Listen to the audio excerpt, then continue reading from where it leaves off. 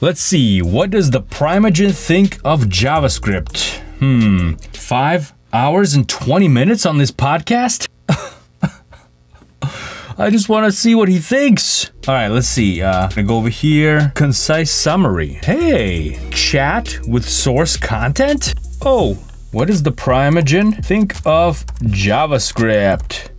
Oh, what am I doing? Nothing, just chatting with a video.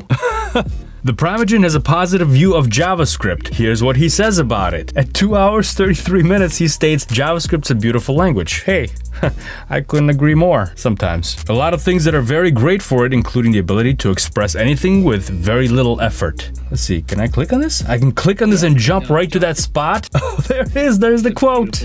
Oh, wow. Here's one of my own videos from a while back. Gonna go over here, concise summary. I probably shouldn't show you guys because now you'll just do this for all my videos and I won't get the watch time ad revenue. But oh well, I gotta share this tool with you guys. Here's the concise summary of this whole video. I can go to the detailed summary too. And this tells me the results I got, including running a 70 billion LLM with 39 layers on the GPU and getting 7 tokens per second on the Mac. So what is this? Well, this is just one part of a tool called Recall. No, not that recall. this is Get Recall, getrecall.ai. And I've been using it for over a month now. And it has been the easiest way to collect my notes, research, and ideas in one place. Even if they didn't sponsor this video, which they did, I think this is currently one of the most useful AI related tools out there. But AI is just a small part of it. Let me show you the rest. First, let's jump over here. I'm just gonna be an open book right now and show you all my internal workings here. These are my notes notes. This is uh, Apple Notes, and this is where I keep my notes. It's pretty messy, and I have to keep making copies of relevant chunks. For example, if I'm making a video about, um, oh, the MacBook Air M4, and I found some useful information about it, some related comments from the YouTube channel that I want to include in the video, I have to sometimes copy these from place to place when I want to link ideas together. Every week, I dive into tech topics like this, and I test devices, I prep scripts, I research specs, I read change logs, and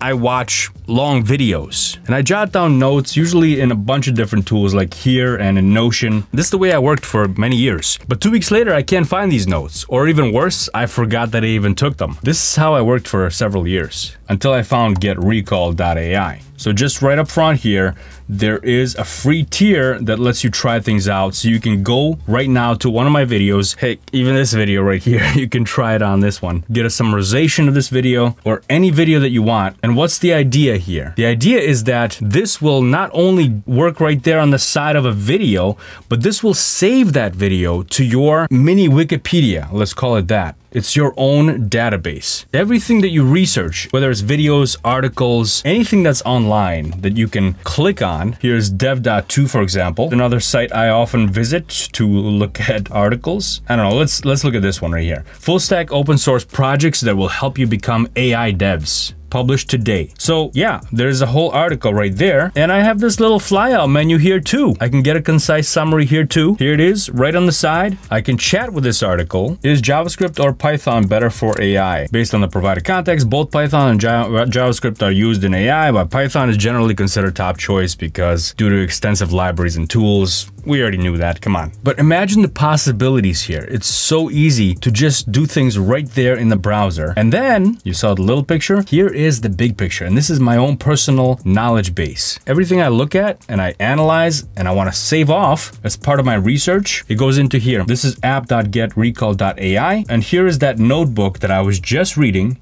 I can look at the full text of the article. I can read the summaries. I can chat right here with the article. I can take a quiz. Imagine this for students that are just learning things. You're coming across different articles on the web as you're doing research and you can quiz yourself. This will generate questions for you on the fly from the source material. Now I can start my review and this will give me multiple choice questions generated from that. Let's see. Oh, sorry, I'm wrong. Let's go to the next. I, I, didn't even read it to be honest with you. Let's do a little peek. And it's gonna take me back to where that source material was found so I can do a review if I failed, which I just did. On the left, I have my topics productivity, technology, no surprise there, AI, computer performance. I have a lot there. Let's check out this Ryzen AI Max Pro 395, a chip which I've been really looking forward to and testing out on the channel. So this gives me a summary from this video right here. I can chat with the video. Must be a good video, but I did not watch it. I came across it. Here's the video. I clicked on save right over here. This is part of the Recall browser extension, completely free, of course. Everything here as part of the browser extension is local first, so nothing leaves your computer. And here's the transcript with timestamp. So I can always jump to that timestamp in the video if I come across something here in the summary, in a detailed summary, or in the actual script. I can't believe I'm sharing this information because now you're not gonna watch my videos. You're just gonna summarize them using this tool. well, you should watch my videos anyway because they're interesting. And I get to talk about books. So this is a book by Tiago Forte. It's a pretty popular book, Building a Second Brain. And that's exactly what this tool does. The, the whole idea here is that you're gonna offload the things that are supposed to be kept in your brain, all the little bookmarks that you have in there, you offload it to here. Well, this book was written before Recall was around, but the idea is the same. However, this book goes into something called the code framework. Capture, organize, distill, and express. Code. And you're supposed to do this stuff manually for every piece of information that you come across. Well, the book doesn't go into the details of how you do it. It offers some suggestions, but until Recall.ai came around, you had to do some of these steps manually. So now Recall handles the capture part for you really easily. As you just saw, it handles the organized part right here. Everything is by topic. The organized bit is supposed to be sorting the information into relevant topics so they're together. And that's what this does. Here on the left, I got product, productivity, I have technology. So far, I'm not very multidimensional with this as a human being, but I can see this expanding quite a lot. Distill is the D, and that's extracting the essence into your notes. Imagine we had to do that stuff manually. We had to summarize it manually. Now, this is the AI part of Recall, and this is the part that does the summary for you automatically. And finally, Express, well, that's using the knowledge, right? That's once you already have it there. So let's say you came back a week later and you're like, huh, what was I thinking about? Well, the Ryzen AMD something or other. What was the name of that chip? Well, you can even go here into graph and this will connect all your different saved topics together. So for example, uh, what's this? Oh, look at that. That big node right there is Ryzen and here's the big node AMD. I can click on that I can take some notes. This is my notebook related to that. I can hit expand. It'll give me more details about AMD. This is your Wikipedia.